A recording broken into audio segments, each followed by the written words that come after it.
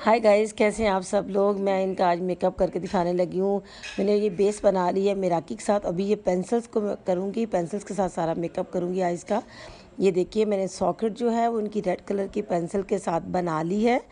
ये देखिए, ये मैंने लिप पेंसिल जो होती हैं, उनके साथ मेकअप कर रही हूँ। अच्छी तरह से मैंने कलर लगाया। अभी सिर्फ़ कलर लगा रही हूँ मिक्सिंग बाद में करूँगी। उसके ऊपर मैंने ऑरेंज कलर जो है लाइट पीच एंड ऑरेंज की मिक्सिंग है, उन दो, उसको मैंने जहाँ पे रेड ख़त्म हुआ था, वहाँ पे मैंने दूसरा कलर लगा दिया। और अभी मैं इसकी ब्रश के साथ जो है वो मिक्सिंग कर दूँगी। मिक्सिंग ब्रश के साथ ये देखिए, दोनों कलर्स को मैं मर्ज कर रही हूँ। इसी तरह से मैंने दूसरी आइज़ का जो पहले से कंप्लीट कर लिया है, उसका मेकअप भी मैंने इसी तरीके से किया था। इसको मैंने दोनों कलर्स को इस तरह से मर्ज किया कि कोई लाइन नहीं होनी चाहिए। बहुत अच्छी सी मिक्सिंग होनी चाहिए। वाइट पेंसिल के साथ हाई लाइटनिंग एरिया पर मैंने वाइट पेंसिल लगा ली। उसकी मैंने अच्छी तरह से हाईलाइट कर लिया है।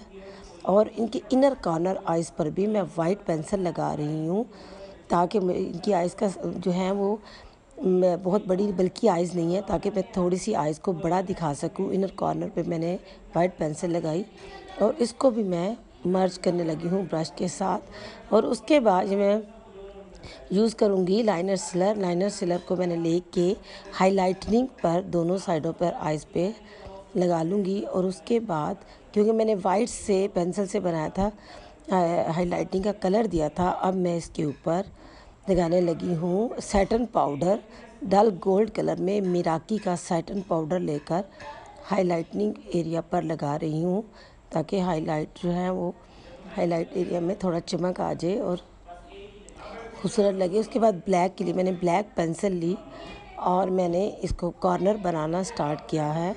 ब्लैक पेंसिल के साथ मैंने कॉर्नर बनाया और इस कॉर्नर को भी पहले लगे हुए कलर्स के अंदर मर्ज कर लूँगी। अच्छी तरह से और बहुत ही खूबसूरत सा इफ़ेक्ट्स इसमें देखिएगा, ऐसे लगेगा कि पहले से ही कोई किसी कलर के साथ किया गया, जबकि मैंने ब्लैक कलर की पेंसिल लगाई है और मिक्सिंग ब्रश के साथ अपने रेड और पीच कलर के जो कलर था, उसके साथ मैं इसको मिक्स कर रही हूँ ताकि अच्छी तरह से मर्ज हो जाए। इसी तरह मैं इसकी दूसरी आँख का भी मेकअप करूँगी। ब्लैक पेंसिल के और वाइट अभी मैंने ब्राउन पेंसिल लेकर इनके आई ब्रोज में कलर दिया है। ये भी मैं ब्राउन पेंसिल के साथ कर रही हूँ।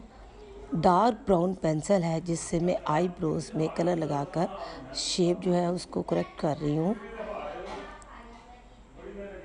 और उसके बाद कॉटन बर्ड लेकर क्योंकि पेंसिल है तो स्ट्रोक्स अलग अलग से फील ना हो। कॉटन बर्ड के साथ मैंने मिक्सिंग कर दी ताकि अच्छी तरह से मिक्स होकर बहुत अच्छी शेप में आ जाए। और अब भी मैं लगाऊँगी। ये देखिए जी मेरे पास कलर्स हैं ग्लिटर है और मिराकी का मेरे पास लाइनर सिलर है। लाइनर सिलर को मैं सॉकेट एरिया में या सॉफ्ट एरिया जो है उस पर लगा कर उसके बाद मैं इनको ग्लिटर दूँगी जो कि मल्टी शेड का ग्लिटर है। दोनों आइज़ पर मल्टी शेड का ग्लिटर लगा रही हूँ। इसमें सिल्वर की इफ़ेक्ट्स ज़्यादा आएँगे। लगाकर अच्छी तरह से ब्रश से टैप करूँगी। देखिए, आप बहुत क्लोज में भी आप जाकर देखिए कितनी अच्छी सी, अभी ब्लश आन है ब्लश आन के लिए मैंने पहले कंटोरिंग की ब्राउन कलर के साथ, अभी ब्लश आन जो है वो लगाऊँगी। कंटोरिंग जो है वो मैं ब्राउन शेड के साथ कर रही हूँ लाइट ब्राउन के साथ।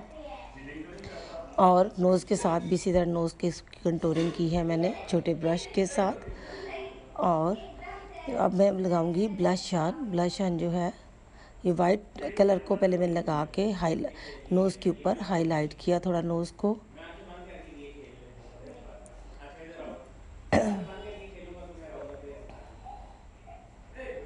और अभी blush on peach and pink colour का मिक्सचर है, जिसको मैं ब्लश ऑन मैंने अपने कंटोरिंग वाले एरिया के ऊपर जो है ब्लश ऑन लगा रही हूँ।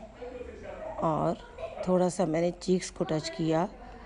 और सारे फेस पर भी लाइट्स अटैच दे रही हैं ताकि नेचुरल इफ़ेक्ट्स लगें। लाइट सब पिंक एंड पीच कलर जो है वो मैंने लगाया है। और अभी मैं इनको लिपस्टिक लगाने लगी हूँ आउटलाइन वही पेंसिल के साथ मैं आउटलाइन बना रही हूँ। याद रखिएगा, सारा आइस मेकअप मैंने पेंसिल के साथ किया।